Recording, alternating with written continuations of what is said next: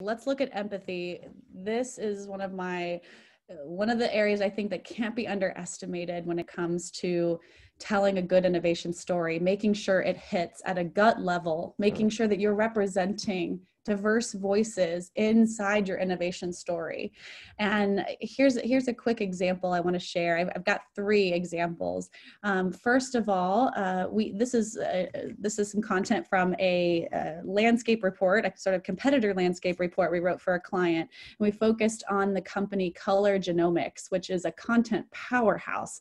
If you haven't followed some of the work that they're doing, uh, they are they essentially came up with the first diagnostic genetic genetic, I'm sorry, not diagnostic, genetic test to screen for a very deadly form of breast cancer.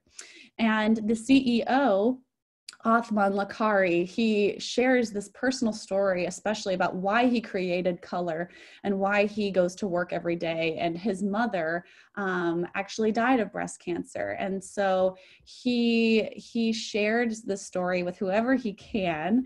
Um, and the interesting thing is, lore has it. There are a lot of articles about this that the CEO of Levi Strauss was sitting next to Othman on an airplane, and Othman told him his personal story, and in the matter matter of that one flight, the CEO of Levi Strauss made the decision to offer genetic testing and genetic resources through color to all of Levi Strauss's employees.